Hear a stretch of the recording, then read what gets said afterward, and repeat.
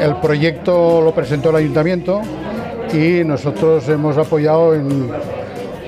Generalmente valoramos, cada, cada proyecto tiene unos puntos de valoración concretos y se puede llegar hasta un 35% del, del presupuesto que se nos presenta. Entonces, en ese caso hemos dado el 35%. Pues la tienda la ubiquemos en un retranqueo que quedaba en las mismas instalaciones del albergue y había un retranqueo que vimos que se podía construir y entonces pedimos las ayudas pertinentes y ahí está lo que ha salido.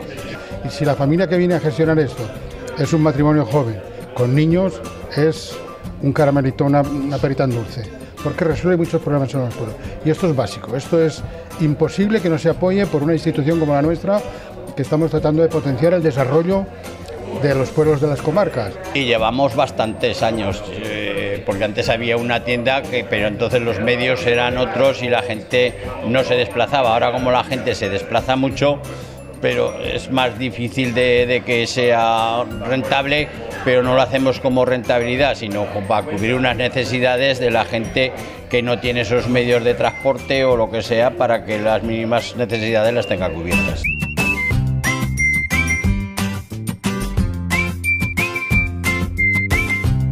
Los antiguos, o sea, los más ancianos del lugar, son los que nos decían y nos pedían que recuperáramos a San Pascual Bailón, que siempre había estado allí desapareció en guerra.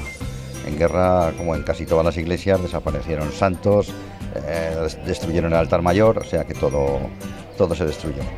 Aprovechando los cursos que dieron el INE del alabastro en Albalate, pues entonces nos pidieron que si queríamos construir o qué necesidades necesitábamos y tuvimos la idea de reimplantar el santo que había en la iglesia que desapareció cuando la guerra.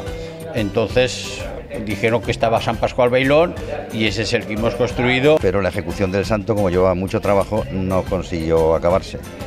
A pesar de eso, la, la escultora, digamos, que lo estaba haciendo, se comprometió a terminarlo. Y ahora, pues, por fin estaba acabado y es por lo que se ha hecho la colocación allí y vamos a instaurar esta festividad, por lo menos ya que después de lo que ha costado, esta tarde por fin a las 5 eh, en la misa se bendecirá al santo y en la asociación pues tendremos un pequeño refrigerio, un algo para empezar a celebrarlo.